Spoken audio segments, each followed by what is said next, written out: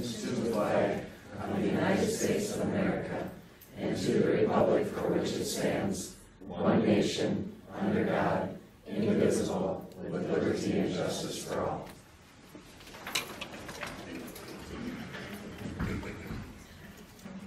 Tonight, uh, we have four members here, and Mr. Hanson, Ms. Schimick, and Mr. Sorensen are not here, but we do have a quorum, so we will move on. Uh, Next item on the agenda is the approval of the agenda. Do I have a motion to approve the agenda? Oh, wait, no. Yeah. Uh, Yes, that is correct. Excuse me. We need, since Ms. Schimick is not here tonight, we need to appoint a temporary clerk. Do I have any nominations? I'll make a motion, um, to have Melissa Inger be clerk. I will second that motion. Any other motions? All those in favor say aye. Aye. All those opposed? That passes four zero. Now we move on to the approval of the agenda. Do I have a motion to approve the agenda? I make that motion. Do I have a second? I'll second. Okay, second. By Melissa, all those in favor? say Aye. Aye. All those opposed? That passes four zero. Next on the agenda is the consent agenda, the check wire transfer disbursement summary, the bank reconciliation statement from January of 2017, approval of the school board minutes from the regular board meeting February 13th, uh, our meeting with the legislature on February 27th, and our board study session on the 27th. Also included in the uh, consent agenda is the resignations, terminations, and non-renewal, the 2017 to 2020 Achievement and Integration Plan, and the uh, 2018 Achievement and Integration Budget. Do I have a motion to accept the consent agenda? So made. Do I have a second? Second. All, any discussion? All those in favor, say aye. aye. All those opposed? Nay. So that passes three to one.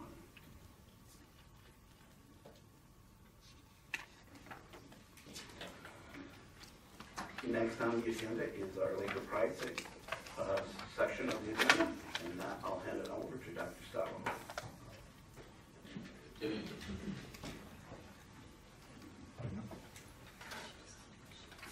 And this is absolutely one of my favorite times of the month, um, when we get the chance to, in front of another full house, recognize some of the amazing things that are happening in our schools. And with us tonight are some pretty amazing people who make that happen. At Prior Lake Savage Area Schools, our mission is to educate all learners to reach their full potential as contributing and productive members of our ever-changing global community. In our strategic plan, we have words like personalized learning, innovation, uh, leadership, vision, and tonight we're celebrating some students and staff who have been bold and trying some different things and who are absolutely making a difference in the lives of those around them. So there's several students who I'm going to invite up here tonight. We've got three different groups and they all kind of fall under this uh, tech savvy, innovation, making cool things happen kind of theme. So we thought we would bring them together tonight. Um, though each group is really doing some, some unique and creative things. So we've got several groups coming up, so why don't you start making your way up here? First of all, we've got some students who are part of the DLR Student Innovation Challenge.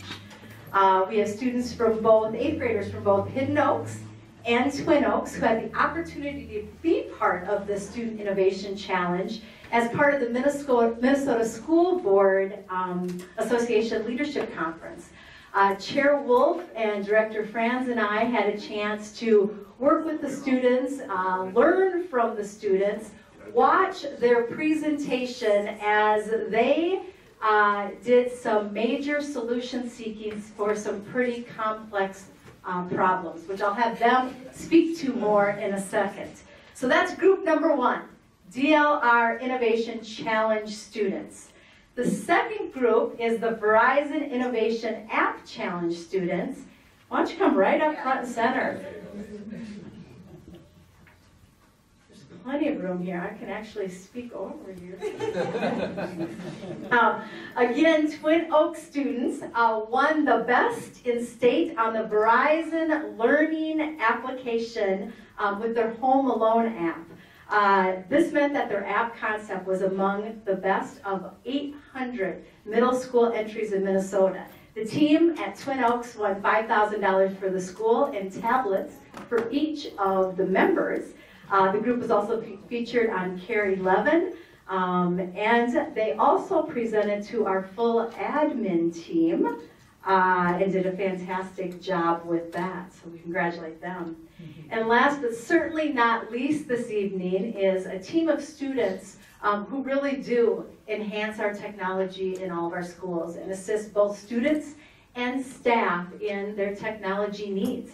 Um, we have members of the SWAT team. SWAT stands for Students Working to Advance Technology. Um, there are over 30 technology savvy students from both Twin Oaks and Hidden Oaks uh, that lead by example with technology and they help teachers and students problem solve um, and fix things. Two students are stationed at the Media Center each day uh, to help with whatever needs arise from either students or staff, and it's uh, pretty amazing. In December, our SWAT students presented at the TIES conference, the technology conference, um, at the convention center. And they shared information about our technology team and many schools that are looking to start or improve um, are now learning from our students. So pretty amazing. I'm going to have our students uh, introduce themselves and share a little bit more, but I also want to thank uh, the adults who are making this possible. We are able to prov- provide unbelievable opportunities for our students because we have quality and excellent staff in every corner of our district. Tonight we have Missy Short, Short, we have Hans Albrecht, and we have Amanda Fay with us. And I'm Gina Zer. Gina Zern, I'm so sorry I didn't have you on my list. Thank you, Gina.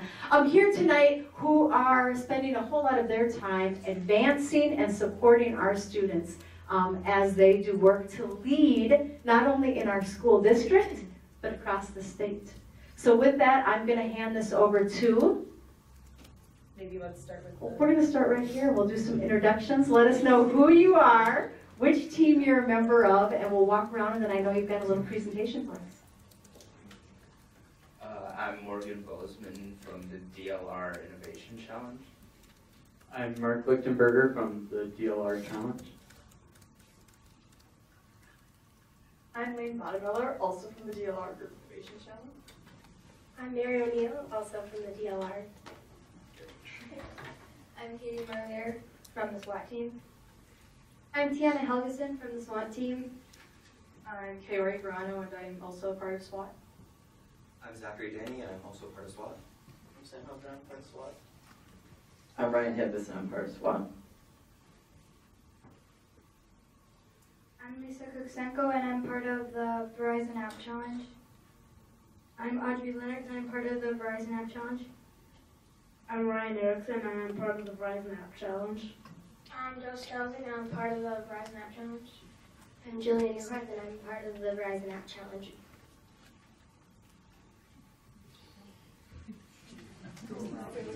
Tell more about our competition. Do we have this slide? Do we have this slide? That's okay. We're gonna do a both with other slides. How great is that? Their communication skills are unbelievable. Do we want to? Yeah, why don't you Yeah. go up to the front and share a little bit about your university? Um, we are participants from the DLR Student Innovation Challenge this year.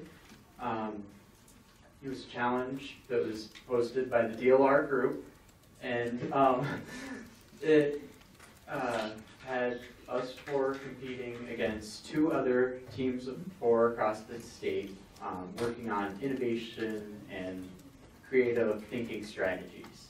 Um, do you want to talk more about competition? So in the competition, each team is given the task of creating an issue they would like one of the other teams to solve.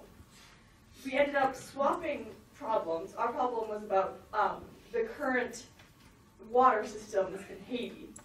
And we swapped problems, and our issue that we had to solve for and create a solution for was the current healthcare system in Lagos, Nigeria. So we worked together as a team to help solve this problem, and it was really helpful to like get to work with people who are so like intellectually capable of throwing around ideas and working well. And super cool to talk to people with actual jobs and companies that do stuff like this, and just get their input on how they see our problem that we have, and just like youth and intelligence and innovation stuff like we're doing in our schools today. So it was very interesting.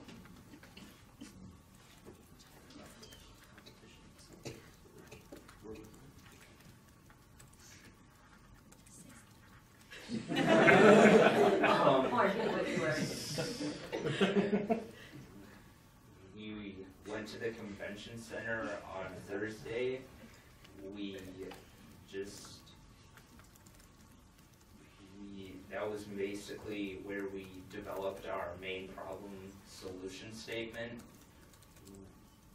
We also talked to like members of the school board that were at the convention center and sort of pulled them to get their opinions on how we could make our current problem solution better.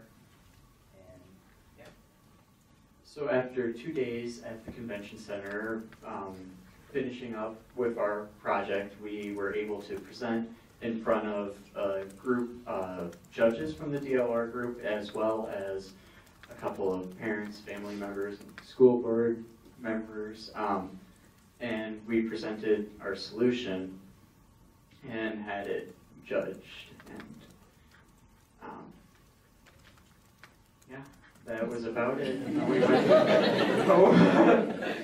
But, yeah, um, so. That's great.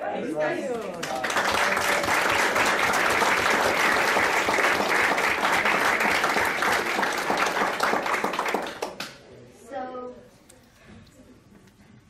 so we had to think of a problem in our community and find it and create an app that could solve this problem.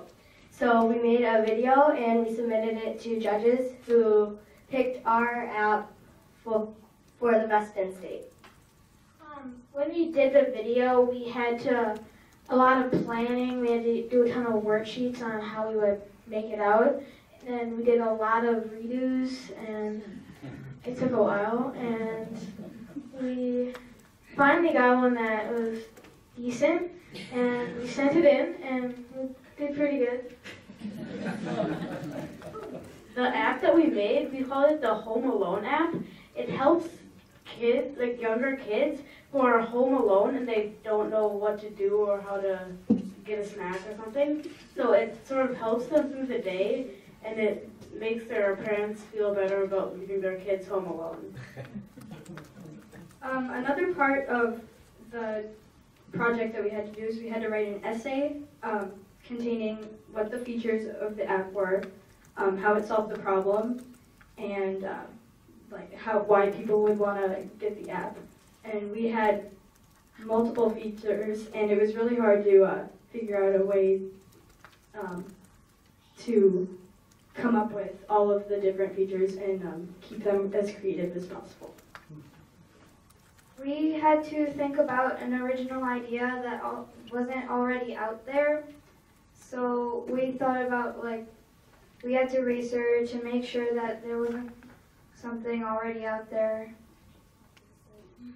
Um, it was kind of hard to do because there's a lot of other creative people out there. So a lot of the ideas were already taken, and yeah, we came up with one that was pretty decent. hey, this could work.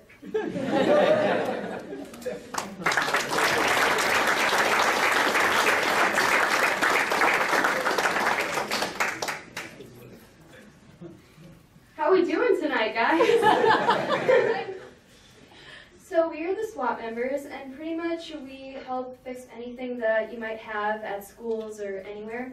We recently traveled to TIES, which is what I will be talking to you about. Um, so it was a pretty short car ride, I guess. um,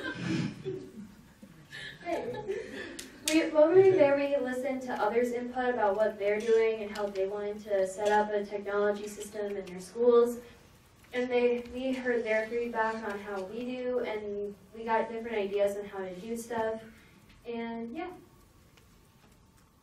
Um, so Ties was a big group of people who were doing the exact same thing that we were. So we saw third graders doing things that were way more complex than what we were doing. Third graders were fixing computers.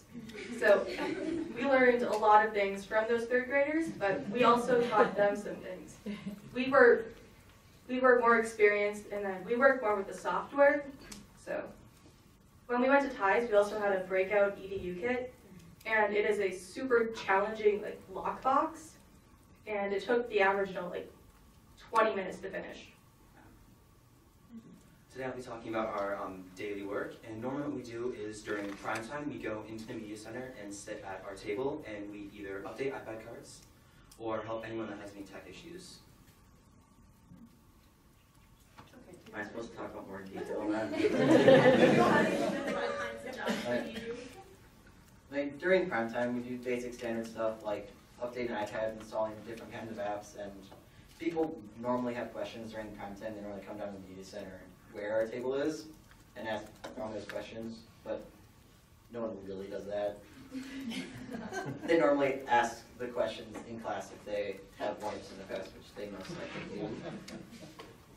Normally those questions range from like, okay, how do I submit this PDF from Notability in the stu- in the Schoology, or like, I need a reminder on like how to download something from Schoology, or it's a lot of assignment questions really. About it. Some like really complicated questions like why is my Notability not working?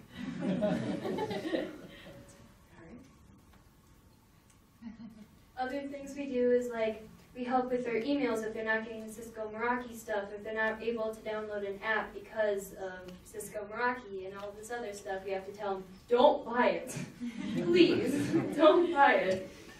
Um, we also, I don't know, we just kind of help out around the school. We're kind of like the janitors of technology, cleaning up what they You have nothing to show Okay. Okay, good job, guys. So more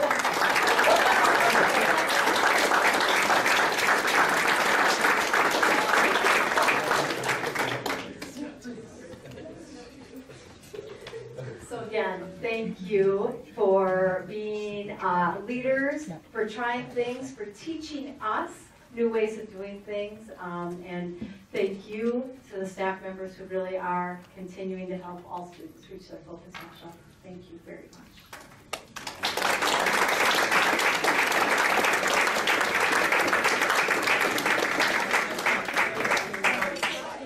Missy, you're the group? And then Amanda? Huh? And you can handle the, the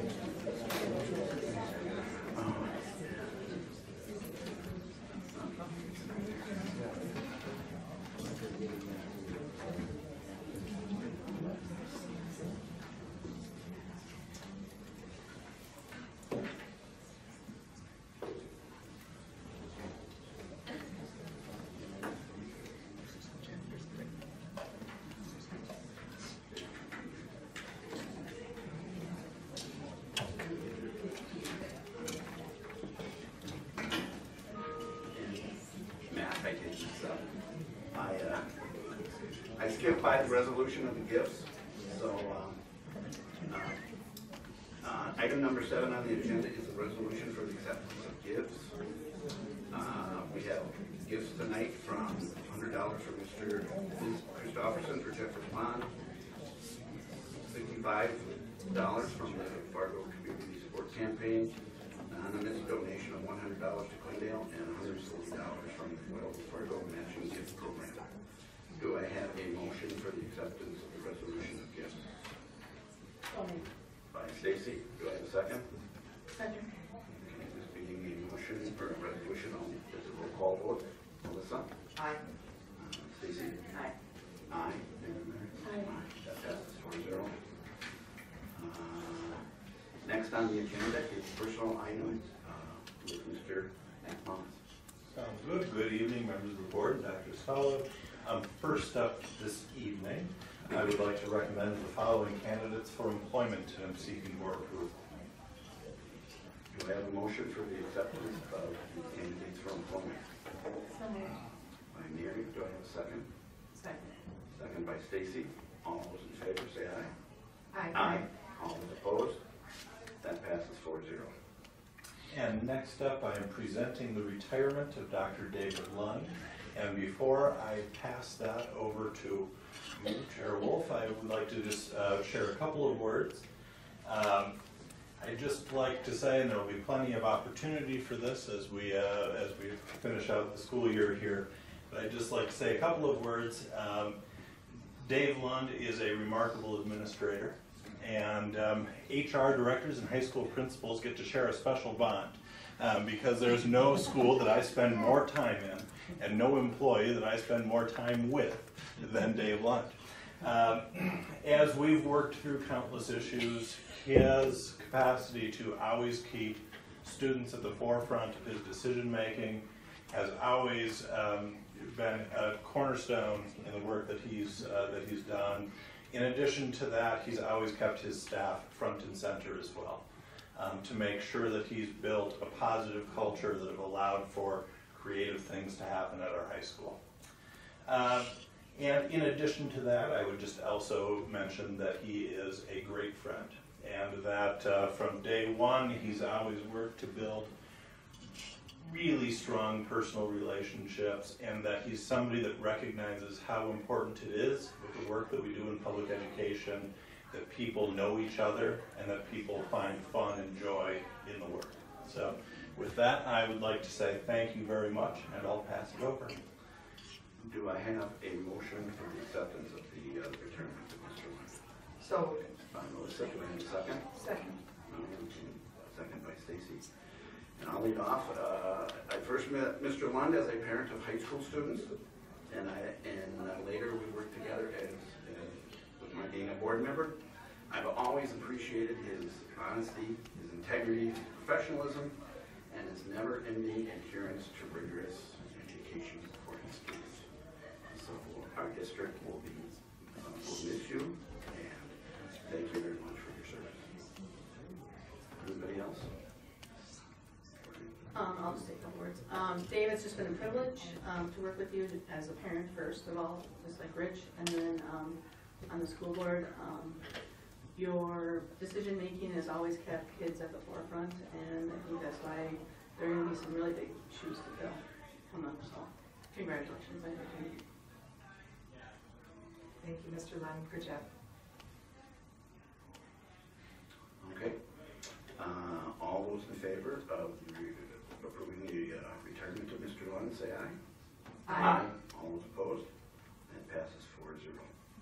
And next up, I present the following leaves of absence and am seeking board approval. Do I have a motion for the acceptance of the leaves of absence? So made. By Stacy, do I have a second? Second. By Mary? All those in favor? Aye. All those opposed? That passes four zero.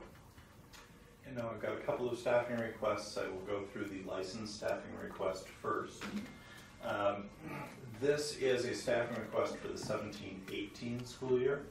And um, the common theme here is that these are certainly all driven by our continued increase in enrollment in the district.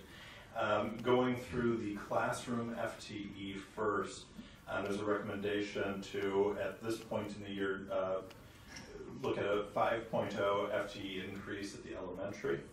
Um, What that will allow us to do is to maintain our current class sizes where we have buildings with enough teaching stations to add, uh, to add teachers. Um, along with that is a request for a 1.0 elementary specialist FTE. For every section, for every classroom section that we add, we need to add approximately a 0.2 increase in specialist time, as well at the elementary level. Um, At the high school, we're looking for an increase of 3 FT. Um, We do know that it will be extremely difficult to place 3 FT at the high school.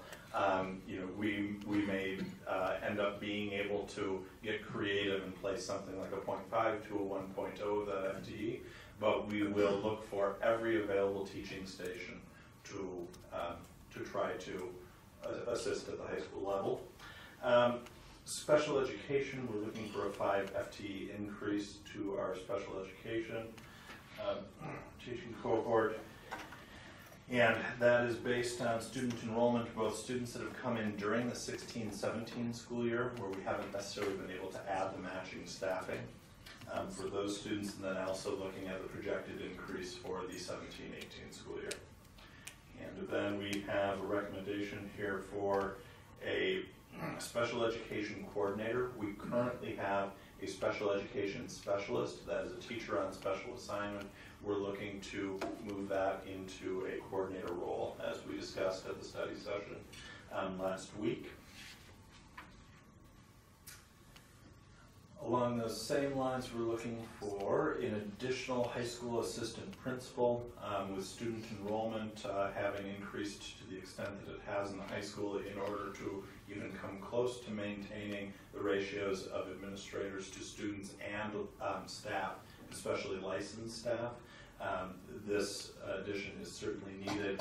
And at the middle level, there's a recommendation for an additional dean of students. At the middle level, when we looked at the uh, numbers there, there wasn't as large a need for licensed support uh, for a principal. However, there was additional need for licensed support staff um, to ensure that that's a safe environment for students. And then lastly, we have a recommendation for an administrative support teacher on special assignment for the Westwood and Red Tail Ridge Elementary Schools. And this is 1.0 between those two buildings.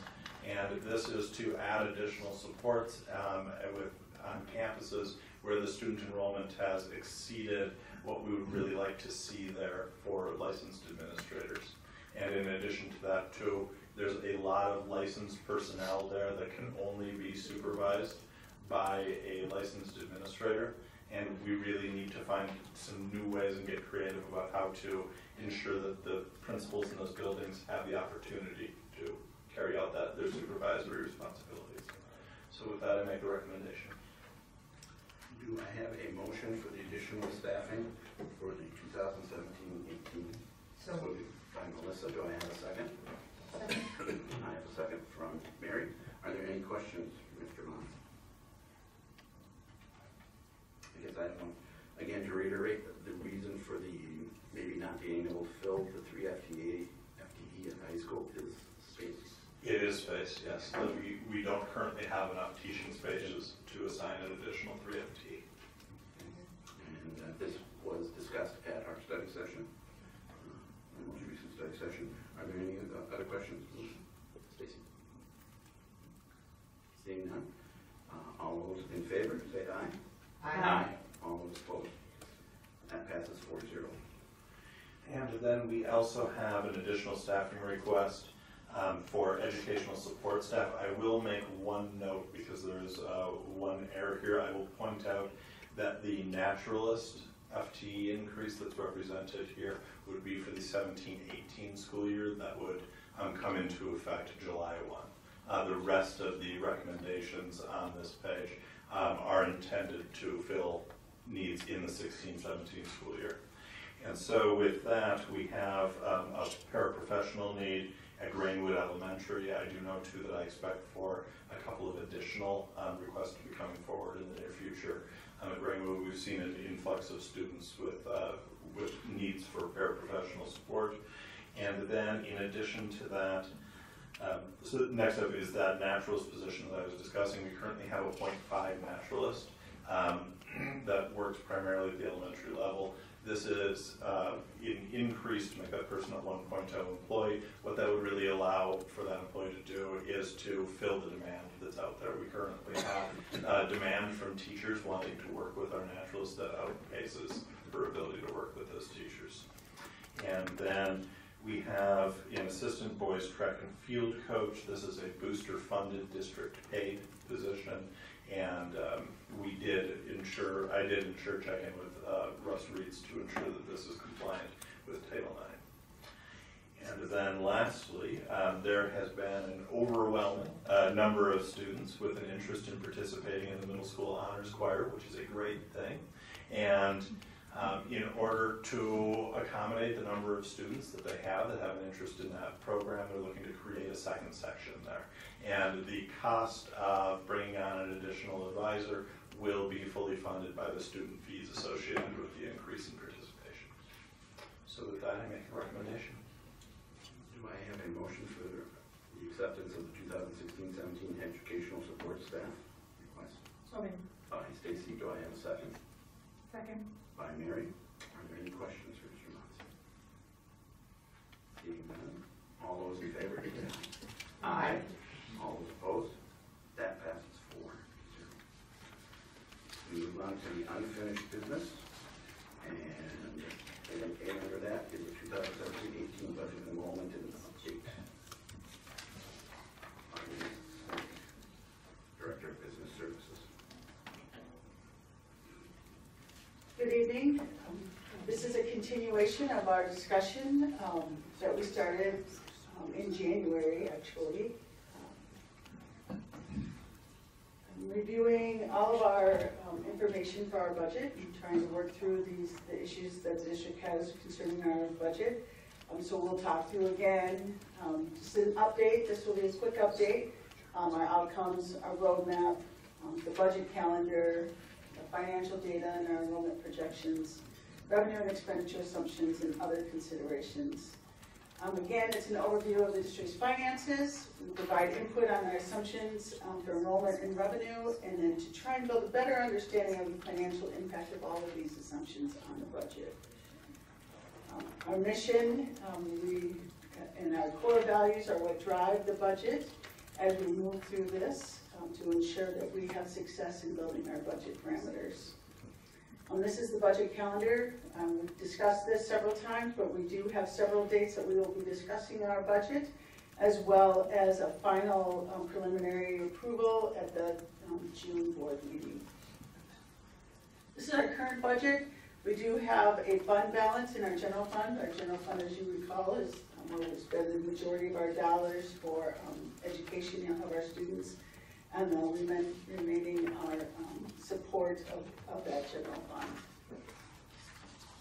Our district enrollment assumptions, um, based on the demographic study, we are um, recommending the moderate to high resident district growth and in migration. Um, That open enrollment is close to one percent at all grade levels for seventeen and eighteen, and open for subsequent years.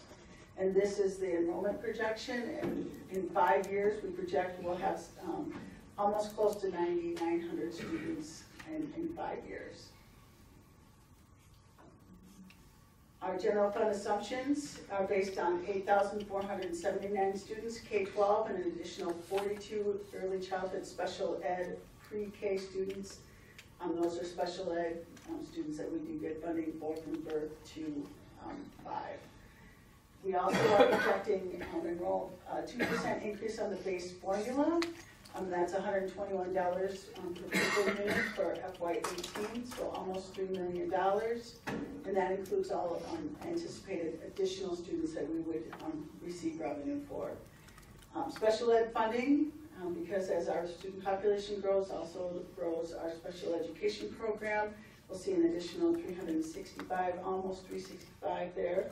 Um, we do lose some money in compensatory, dollars are, um, is money that we receive based on the number of free and reduced lunch applications the district has, as well as our, um, English learner, language learning students.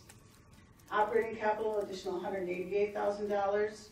Um, as you recall, staff development, we reserve two percent of our staff development, of our basic, two percent of our base revenue. Um, these we reserve for staff development. And then receive a little bit more money for, um, gifted and talented program. So, um, projected overall revenue at this point, based on these assumptions, is three million, four eighty-seven, one forty-four.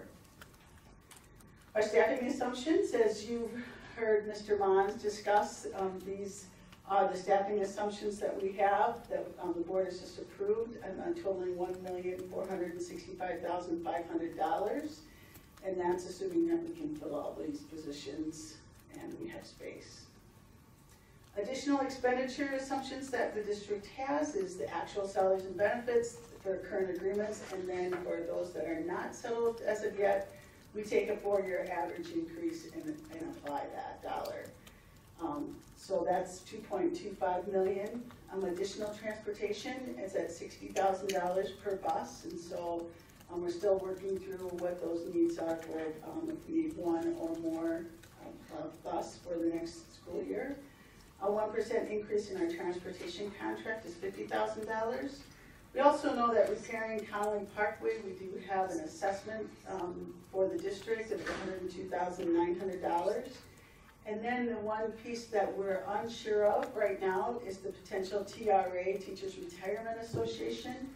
Um, employer contribution, which means it's district only, would contribute to this increase.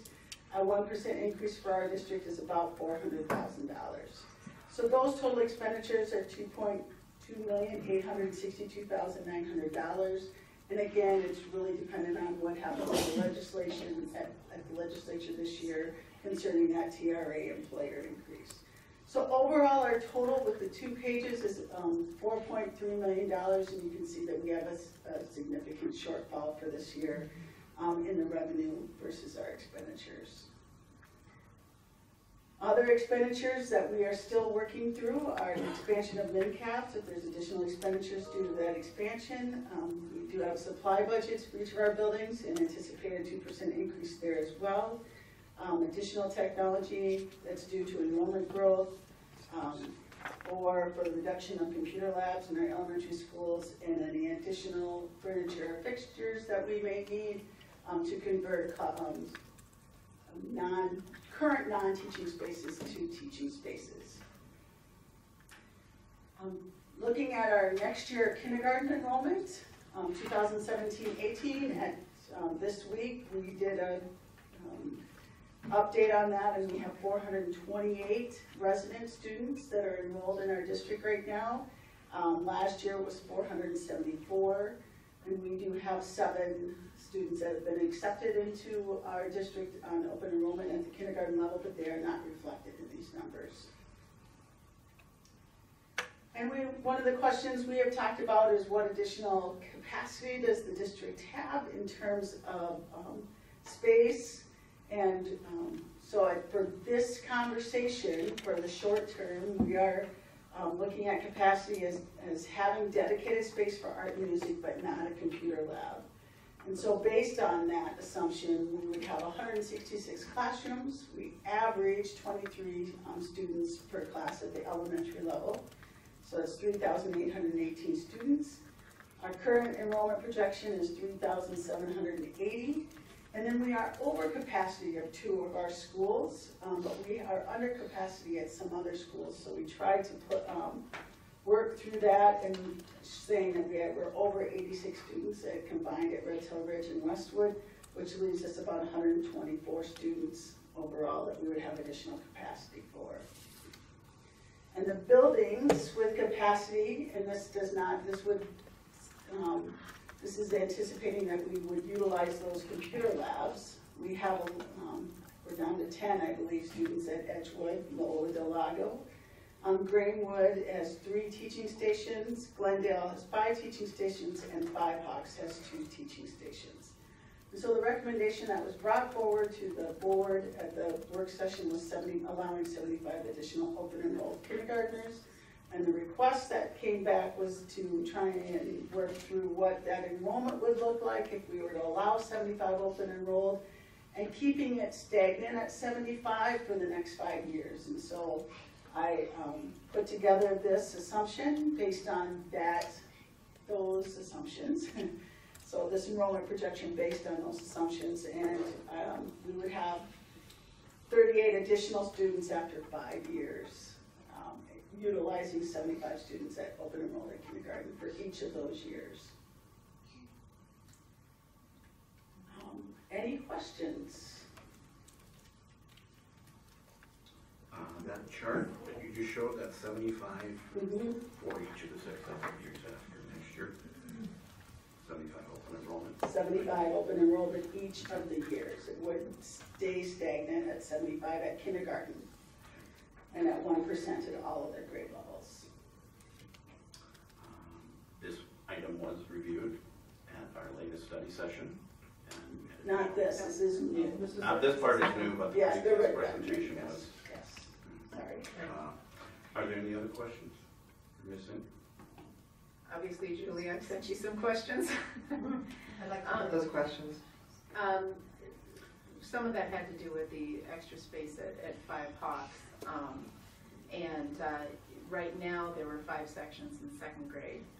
And uh, anticipating in-district growth as well, uh, there was an assumption that the same five sections, you were going to move that down into four sections in the third grade, thereby freeing up a section at Five Hawks, which was one of the assumptions here for the full 75. Um, And, um, you know, obviously, we're overcrowded, et cetera, there's quite a number of kids there, and you take away another computer lab in order to create this, the, the extra section. Has there anything, been any feedback from the teachers on that particular plan and how they would adjust to that? We would not have brought that forward because there's been no decision made, Okay. and so that's not something we would have done at this point. The only thing that I could add to that is, you know, we, we certainly have that situation in, in other elementaries currently. So this wouldn't be the first building that at that point would not have access to a computer lab as a designated space within the building. And, you know, I think the feedback on that, um, you know, it, it's not the way that we ever intend to utilize buildings because we would like to ensure that we're operating at exactly, you know, the capacity, within the capacity constraints that we have. But I think too, our staff is flexible and they know how to work with, you know, with those kinds of situations as they come up. Um, and, you know, we, we've always had to find work, workable situations there. This isn't the first time that we've needed to look at alternative, uh, uses for space at our elementary levels. Um, Another question that I had is, given the um, in-district migration that is actually occurring uh, with the additional students, if we experience the number of new families moving in that's been anticipated according to the Hazel study, um, this puts us way over capacity with 75 OE coming in. Um, If, if that percentage comes to the max, and how has the district thought about if this were to actually be approved, how they would handle that? I'm not sure that I um, am understanding that question in terms that you're asking it, because, you know, our capacity based on, uh, was based on that. So if it's not based on opening those um, computer labs, then that changes our assumptions. And so what we based this on were the assumptions that we were utilizing the labs as we've done in some of our, of our schools. And so then we would have capacity. And we have verified that information with each of the principals at those schools. Any other questions? Well, currently what schools, I know Red Tail doesn't have a computer lab, what other? Do we have Westwood or, Westwood's our, Uh, correct, Westwood does not have, have a have a computer? dedicated computer lab. Okay. So would we take that away then from Jeffers Pond? Would we take it away from the other schools too, the computer lab? The way that we've approached that in the past is that we haven't arbitrarily done that. It's simply been, you know, if we need to. It, has been in reaction to actual students being there. So that would be if we need to, we would look at that as an option. But because they don't have additional space in those sites beyond a computer lab, we don't, I don't think that we would feel comfortable utilizing that space yet, considering the needs for in-district growth. Were the additions in staff also related to an assumption of the open enrollment or the additions in staff um, based upon current status with the open enrollment being closed for next year? Enrollment, uh, um, staffing is based on the assumptions that the board has approved.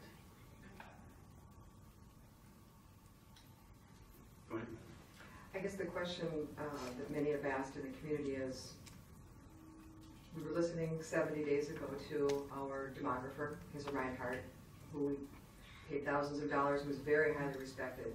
And before she approached the podium, I remember she, she complimented us on closing the open enrollment right before she uh, did her presentation. Because she said that we had huge, huge growth um, within the district. And we were told that the buildings, every classroom is packed, the buildings are packed, and um, I really don't understand why we would change after 70 days when we, the board has made a decision. And our policy is that once the board makes a decision, we go forward with that. Um, The state statute mandates that we can't make exception to certain programs when we close open enrollment.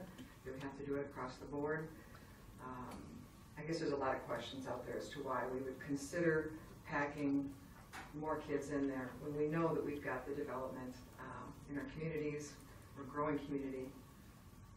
I just want to remind you, when Hazel presented um, with 105 kindergarten students, we wouldn't, oh, if we- if the board were to allow 105 kindergarten students in, that they anticipated projection after 10 years is that we would not grow our open enrollment number. It would stay stagnant. So right now, we're at 100, and- or 1,008 open enrolled students with 717 that leave our district and another 500 that leave, that attend um, private schools. And so we have 1,008, and after, we left open enrollment at kindergarten only at 105, in 10 years, her projection was we'd be at 1,009 students. So anything that you do to reduce that number um, definitely reduces the number of open enrolled students that we have across the district. As well as we know that those students bring dollars into the district, the same dollars that any resident student brings in. And so that's the balancing act that the board definitely needs to look at is, you know, do you bring in the students so they have the funding to help offset the deficit that is showing right now, or um, look at other options? Can I ask a couple questions about the um, funding itself? Now, we talked about the, what the levy dollars bring in per student, which I believe was seven thousand approximately or more. Was it seven thousand per student, per enrolled student? Levy dollars or Well, or the- overall general fund dollars? General fund dollars, yes. Not including special education, um, brings in a little over seven thousand dollars. Um, Per hundred, per Per student, student. for the current year, and so projecting out it'd be another hundred and twenty-one dollars if it's two percent, Okay. so. Um, with that in mind, I mean, uh, there was a reference, um, just now uh, to the fact of if we close the computer labs, there's additional technology spend associated with the. There's a potential, um, we do have carts right now in all, all- all of our buildings. Um, we are still reviewing that to see what other needs there are in those buildings. And that's to accommodate the additional students. To accommodate and make sure that we continue to, um, have technology available to all of our students. And how much, if we, if, how much do we actually have to spend per student, um, in general? So if we get in seven thousand, how much does it really cost per student? Do we know that number? Um, if you recall from some of our previous, um, presentations, we get a little over, um, including all of our funding, a little over ten thousand dollars per student. And if you average out all the special education and all the other funding that we get, and we spend just a slight bit under that per student. So if you average it at seven and ten, then it's actually four thousand per student that we get less any other additional charges? Like any additional costs or anything like that, so if We we receive overall Receive ten, we receive and we ten, spend just slightly under that. okay. Trying to do the math here, so we receive really ten thousand If you include all of the special education and all of the other funding. Okay, Right, that's been the average that we had last year. And how much does it cost for us, or is that, or is that really your break-even point? It cost, it's, we spend ten, it costs ten. That's what the district has done in the past, and this year, um, depending on how this budget goes, it could, um, be the other way where we're spending more per student than we're receiving. Depends on the revenue that we're receiving for the number of students that we actually get or that we project to get. Any other questions? I just want to clarify, um, on the five-year enrollment projections base, you said it was seventy-five each year. Each year, yes. And so we come at the end of five years of ninety-eight, ninety-seven, in comparison to our other assumptions, which were, um, closing to one percent and then open Mhm, after that point. Correct. And the loss is coming from just our normal migration out that people, I mean, they, they just generally leave between grades one and twelve, and then we lose. Right, open enrolled students, tech, um, in, historically, our trend has been that we lose open enrolled students in grades one through twelve. And I think I just wanted to clarify one thing that I, I'd heard Melissa, because I, I remembered it a little bit differently from what Hazel had said. I know that she was surprised that we had closed open enrollment at that time. Um, and she was glad that her predictions were based on resident enrollment, was how she did her, her, We um, separated out resident, and Right. non-resident, yes. right. So that's the part that I, the conversation. Any other questions? No board action is requested at this time. Okay, So we will move on to uh, ten B, and that's the AIA agreement with professional, or with the um, Nexus for their professional services for the long-term facilities maintenance project. And before we do that, I, um, we had some additional questions coming from board members that were past the deadline that we normally require for administration to allow for ample time to sufficiently answer those questions. And the fact that we're down to a bare minimum of quorum tonight, I'm going to make a resolution that we table this uh, item for the March twenty-eighth meeting. Correct, tape.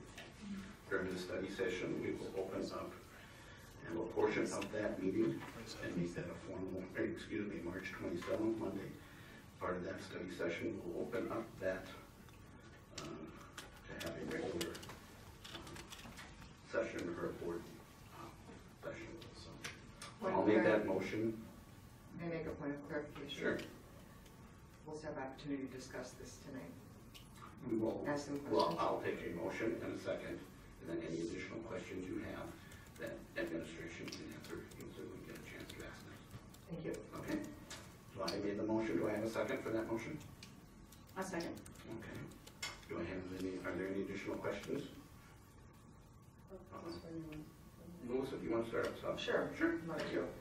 Um, If I could interrupt, can you, uh, for maybe for the audience and for us, maybe ask questions about specific um, paragraphs? Could you call those out for us so we can follow? Sure. Thank you.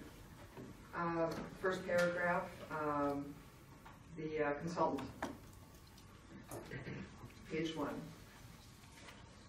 As we take a look at this agreement, I think the first step is to really evaluate the relationship that we have with Nexus Solutions um, and listen to our community and our parents and our teachers who are telling us uh, that we need to take a second look, we need to take a step back.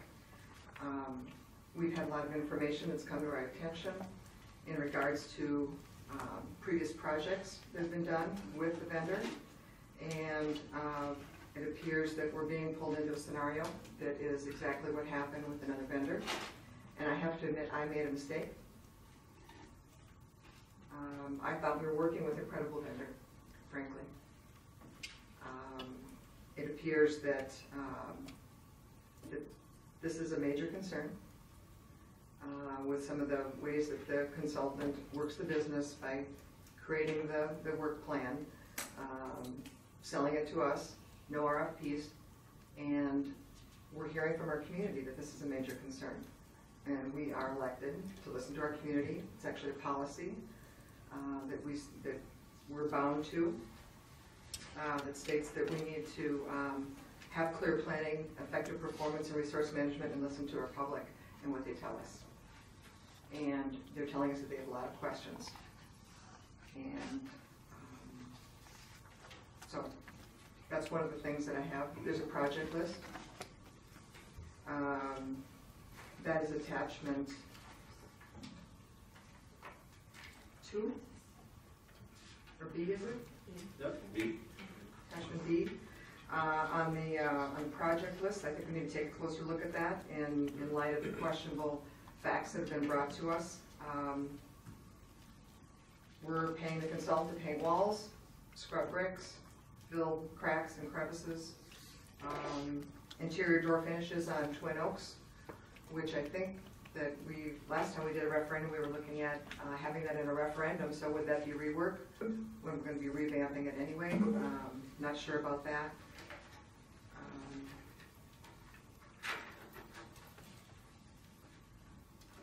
There are just too many questions, and it looks like frankly that we're being pulled into a scam. This has turned into a cancer in our community, and it needs to be recognized. You have any other specific questions? Just Because the board has previously approved the contract with Nexus, and this list of long-term facilities maintenance projects have gone through our finance committee. So, We looked at the projects, but we didn't agree on who would be doing them. Uh, Some of the things need to be done, we know that. Um, We owe it to the kids and to our teachers to make the right decision and, and pick the projects that need to be done and use the right vendor. Um, I have some internal accounting control questions as well. In the past, we were told that, um, that we've always been on budget with the vendor. And we've had some questions amongst the board about that, and it's led the uh, superintendent to um, say that we were five hundred and forty-seven thousand dollars under budget, when in fact, there was a cashier's check for five hundred thousand dollars to Nexus. A cashier's check.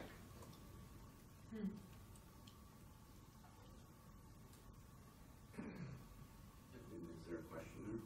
I, I saw questions about how that could be, how that could happen with this vendor. What kind of business practices would, you know, controls uh, in terms of that stipulation? Isn't there supposed to be two signatures on something like that? So we weren't under budget with the vendor, or we, we were over budget, and I still have questions about that. We did have an email explaining from Ms. Cink the corrections to superintendent's earlier email. Uh, do you have any, and for me it was explained, do you have anything you would like to add, In an effort to save money for the district, the intent was that we would work through our P-card system, which we would get a return on our investments of one percent. However, the dollar amount was um, too large to go through their system, and so they refunded us to the bank, and therefore that's why the cashier's check was written on behalf of that. Um, In the email, you had said that the P-card system was utilized, but um, that they- it was not for a cashier's check for Nexus for five hundred thousand dollars. Um, So there are a lot of questions about process. This is clearly a process question. I want to make that firm. This has all been audited by our auditors. They um, have seen this, they've worked through it, they had no issue because we were trying to, again, save money for the district by utilizing the P-card system. And so therefore, that's why the cashier's check was written when it could not be utilized, and the money was returned. I appreciate the work that our auditors did. They're very good. Uh, It's Cl- uh, Clifton Larson Allen. And on the last audit that they did, uh, September 26, 2016, under internal controls, they did mention uh, a material weakness in internal internal controls uh, over financial reporting. Uh, It was reported a a heavy reliance on the auditor for drafting financial statements. So there are some questions there uh, as well, just in terms of the process. That's a, um, a weakness that many, many school districts in the state of Minnesota have when they don't have the staff on hand to draft the financial statements. we still are doing all of the work in the district. And I think over the years, that our district is in great financial shape. Um, it's showing that by our Moody's rating has been, um, increased as well as the awards that the district receives. And so it's disingenuous to, um, say that we, that's something, it's the only material weakness our district had. And again, it's, um, the only, it's one that many school districts across the state of Minnesota have. And it's material weakness during the audit report for the Southwest Metro District. They also had that finding. And it's just part of the um, school board, I mean, the school district have that. Do you have any other questions? On the?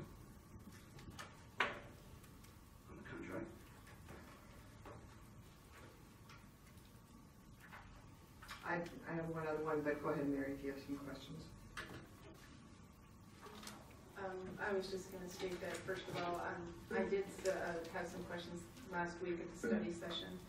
And, um, I did submit additional questions, albeit I submitted them very, very late. So I, I do appreciate the extra time that can be taken because my questions, of course, were incredibly detailed and, uh, quite voluminous. So, um, I do appreciate the extra time that you could take to answer those questions because I had some serious concerns about the contract itself. Any other questions? I'd actually like to make a motion. No, there is a motion on the table right now for, to table this motion to the March twenty-eighth, twenty-seventh, twenty-seventh meeting. So that is a motion on the table. You can amend that motion if you wish. So one thing I would ask that once you get the Mary's questions um, answered, can Dr. Staloch make sure that all the board receives those answers? Thank you. So, I would like to amend the, the motion.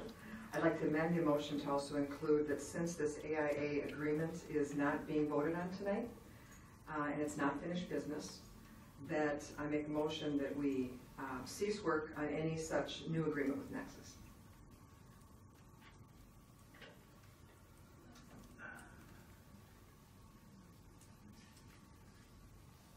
So do I have a second for that amended motion? Question, are we currently, I mean, I don't even premise for the question, so could, could someone elaborate on what's currently going on with them? Because I'm unaware of that. Is there something ongoing right now, or is this, I thought this was a brand new contract? This is a brand-new contract. We've already voted for the long-term facility maintenance program. That was voted on in October. Um, And this is then uh, a review of the AIA contract for that contract that was voted on in October. So we currently have work going on with them, and this is to start the next. We will, this is part of the long-term facilities maintenance. We Okay. have a contract with Nexus to perform that work.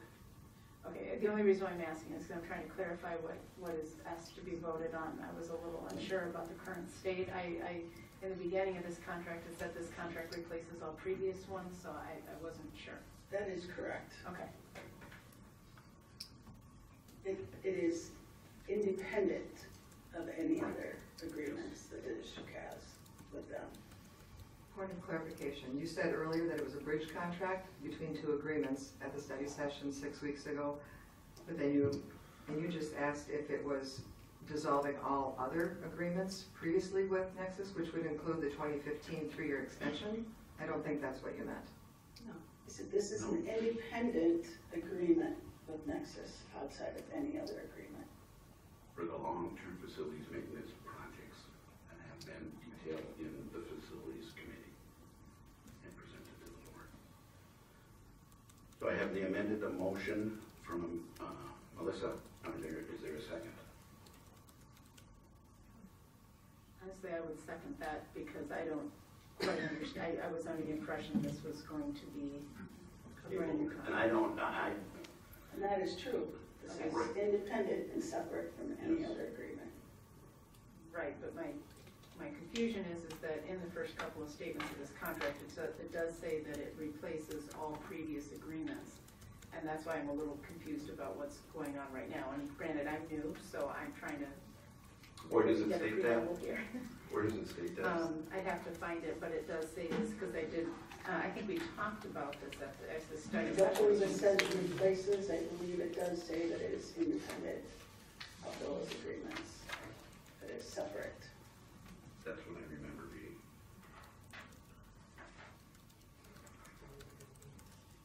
Okay, I, I have to find it, it's a fairly long contract, but that's what I thought I read, so, um, that's why I'm a little confused.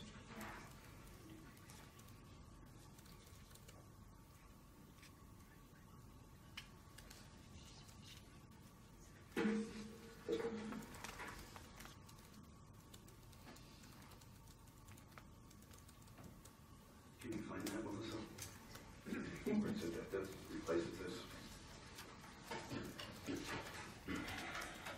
Because in the program budget, it has the dollar amount for the long-term facilities maintenance.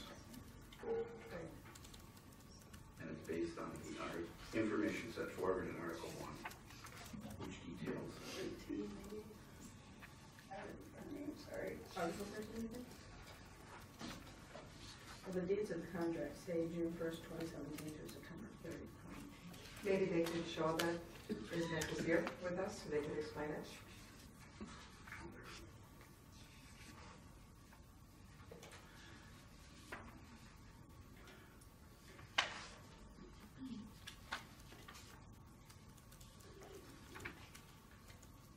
So. Mary, I did not hear a second. That motion unless you want more time to look. Probably another good reason why to table this, so we can get that clarification. I thought I did hear her, click- her second. Second it with a clarification, because it is very, very confusing. Um, and, um, again, each one of the pages, unfortunately, in here, I didn't print the whole thing out, goes into Um, It is, uh, I think on page 21, Article 13.1, this agreement represents the entire and integrated agreement between the owner, Nexus, and supersedes all prior negotiations, representations, or agreements, either written or oral. Uh, This agreement may be written, may be amended only by written instruments signed by both owner and Nexus.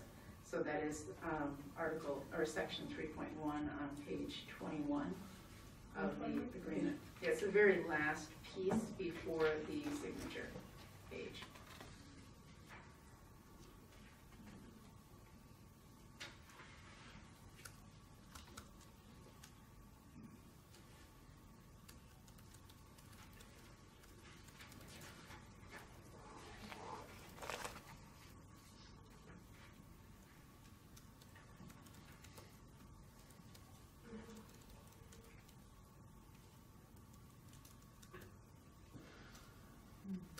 The agreement also states that uh, Nexus owns all the documentations and they can dictate who can see the information, even the board.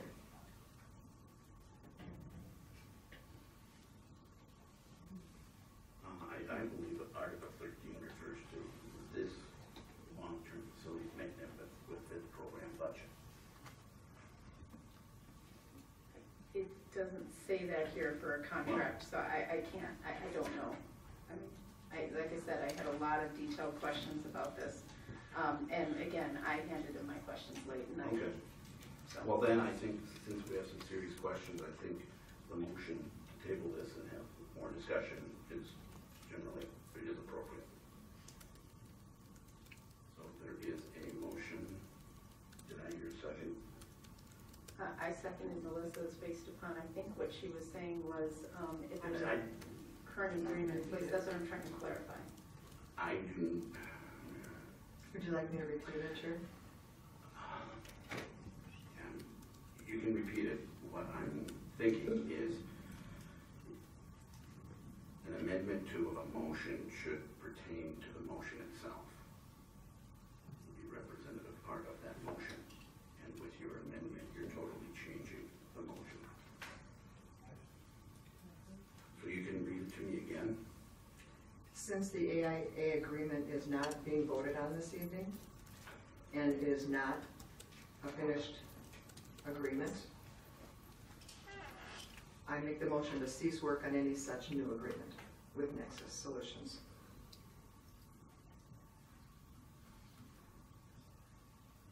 Um, I, I, I think that this, what we're trying to, no, I, not the way it was just said. I'm sorry, but I think we need to continue to work and look at this agreement regardless whether it was for Nexus or anything like that, because it's the contractual process that we're trying to improve.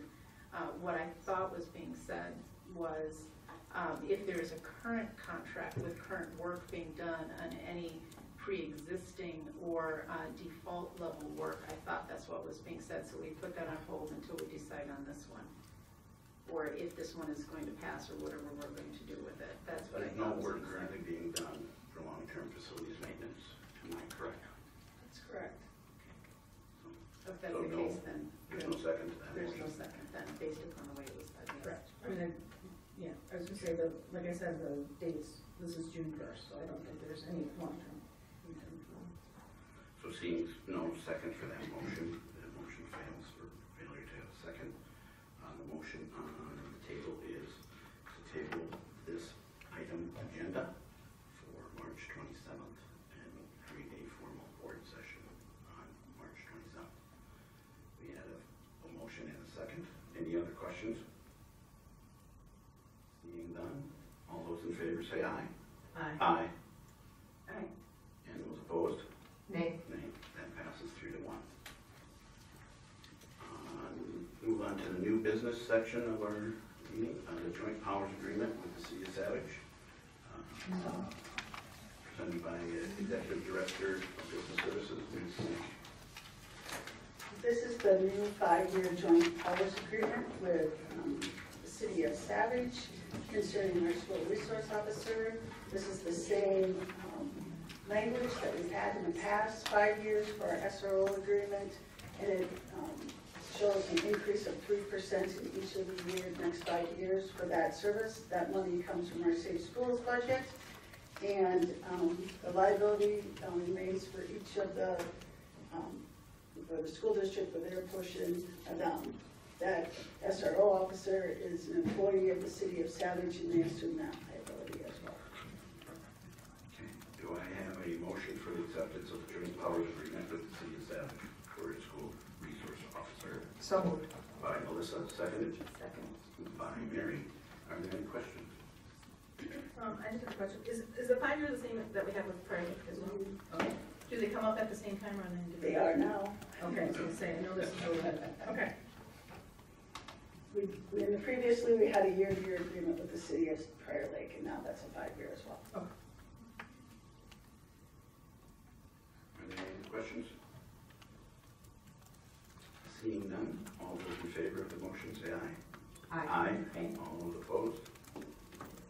That passes four zero. Next on the new business is to set new board meeting dates for the 2017 school year. You can see those updated calendars in your board book. And do I have a motion to accept the, for calendaring purposes, the board meeting dates for the school year 2017-18? So moved. Do I have a second? Second. Okay, all, those in- any questions? All those in favor say aye. Aye. All those opposed? That passes four zero. Next item on the agenda is a change in the board schedule for 2016-17. This mainly represents a change to the June board meetings to more, to coincide more with our budget processing and passing the final budget. Uh, So I will make that motion to update and to amend the 2016-17 board schedule. Do I have a second? Second. By Stacy. Are there any questions? Seeing none, all those in favor say aye. Aye. Aye. And all, nay, or all those opposed? That passes four zero. Uh, we have no policy on tonight's agenda. Next is the administrative reports. Dr. Staloch. Thank you very much. At Prior Lake Savage Area Schools, our mission is to educate all learners to reach their full potential as contributing and productive members of our ever-changing global community. Our collective work is focused on that mission, and tonight I'd like to highlight uh, some of the work in which we've been engaged. Um, First of all, according, uh, this is some very good news about Prior Lake Savage Area Schools. According to niche.com, Prior Lake Savage Area Schools ranks as one of the best public school districts in Minnesota, coming in at 15 out of 320 public school districts in the state. Prior Lake Savage Area Schools earn top grades in the following areas. First of all, in academics, including state assessment proficiency, um, SAT, ACT scores, graduation rates, parent-student surveys on academics, and AP course enrollment. Um, also included in the, the ranking areas were teachers, college readiness, health and safety, clubs, and activities. Uh, Niche's ranking is based on rigorous analysis of key statistics and millions of reviews from students and parents using data from the United States Department of Education. That is great news indeed. Uh, some congratulations are in order. First of all, Glendale Elementary Principal Sam Richardson has received the Division Leadership Award from the Minnesota Elementary School Principals Association. The Leadership Award expresses appreciation to the many outstanding men and women in the principalship who have contributed generously to improving education, their communities, and our profession. They serve as role models and sources of inspiration to other principals and educators. Uh, So congratulations to Principal Richardson.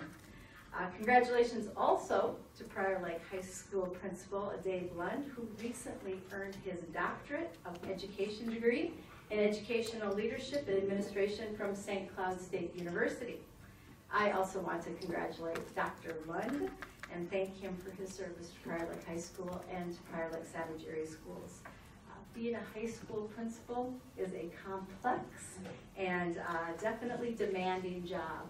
Um, The year and a half that I've had to spend with Dr. Lund, I have seen him lead with grace, with passion, with commitment, with high expectations, with respect, and with love. Thank you. A few more things. Uh, Our listening session coming up this Thursday, March 9th, is the school board listening session regarding our facilities planning process and the first round of draft options for our schools. The listening session will start at 6:30 here at the District Services Center. Um, In addition, we held our first public input session last week, and uh, we have a survey that's open regarding our draft facilities options, which is available on our website through March 12th. The next step will be to study all input from the community meetings and the survey results, revise the options based on this feedback, um, and then have the revised options with the community, going out to the community again on March 28th for another round of feedback.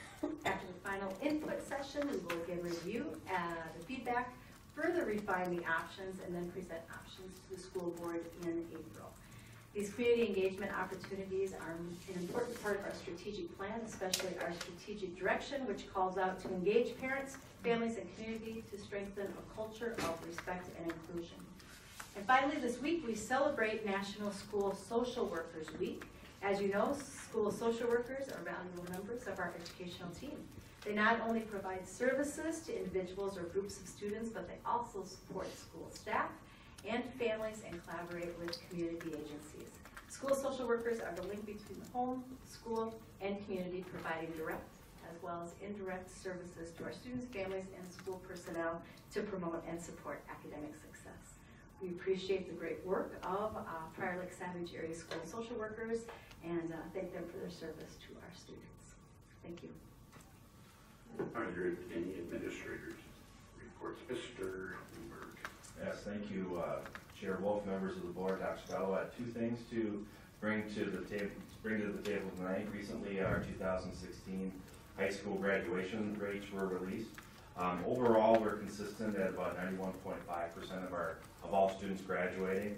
However, we made some uh, very big strides from the num, increases in the number of free and reduced price lunch students, increasing graduation rates, English learners, uh, black students, and uh, Asian American Pacific Islanders, which, you know, we've been paying attention to the achievement gap, and seeing some of these re- results are, are, are definitely complementary to the work that's happening at the high school.